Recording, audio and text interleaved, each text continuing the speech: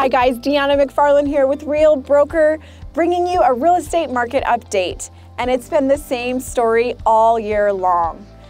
High sales, low inventory, and rising home prices. Well, it has not changed from the data from the month of November. There was 144 homes sold in Airdrie and only 106 new listings. That's giving us 136% new listing to sale ratio, which is driving our benchmark price 12% year over year.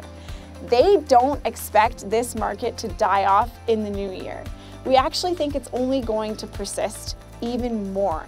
There's so much demand from the buyers and there's not enough people wanting to sell. If you have any questions about this, you know who to reach out to.